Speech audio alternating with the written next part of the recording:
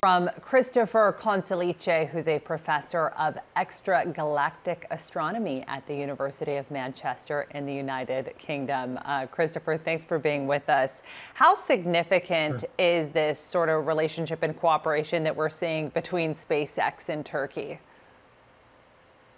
It's very important because it's a sign that different countries throughout the world can now collaborate with companies like SpaceX and to launch uh, all over the world. And you know, this this satellite's being launched in in Florida, so it's a good indication that there is nice collaboration and cooperation. And the satellite was being is built or was built in in France with Airbus.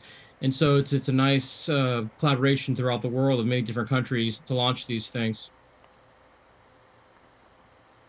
Elon Musk was actually in Turkey not too long ago.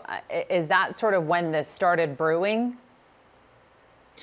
That's right. So Elon Musk uh, met the the uh, the leader of Turkey to come up with th- this agreement to to to to launch the satellite. So he was actually um, heavily involved with the agreement itself.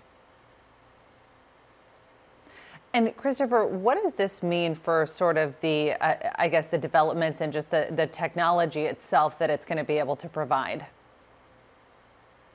Well, the technology is very advanced, so it's the most advanced satellite uh, that Turkey will have will have had in, in orbit. And as the previous uh, um, interviewer just said, that uh, it'll have orbital rights and also frequency rights, and it'll be a geosynchronous orbit, which means that it'll be in the same position in the sky uh, basically all year long, and so it, it'll be transmitting from that location uh, along the equator and it's it's a it's a very nice development, and it also is a sign that this kind of high technology is becoming quite common, and we'll see it more being used for launches of, of space satellites uh, to do different areas of of science, such as astronomy, what I work on, but also for communication.